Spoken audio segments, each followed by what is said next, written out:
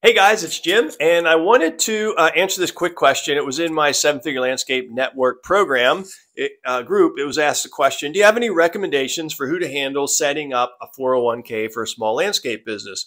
And what I found over the years is a payroll provider are very good at payroll. They know the ins and outs of doing payroll for companies and they're very good at it. And what I recommend is for 401ks, find a financial advisor, somebody who does it every day day in, day out. They know all the ins and outs of their program and how it works with the government and everything else. So, you know, it's sort of like if you're a um, hardscaper and or, or you're a landscaper and you don't try to jump in and do plumbing work, right? You're not going to be as good the, as uh, being a plumber as you will being a landscaper. So that's my take on it. Find people who are really good to do it all day long, who are experts in that field. So I recommend going to a financial advisor, instead of a payroll provider in this situation.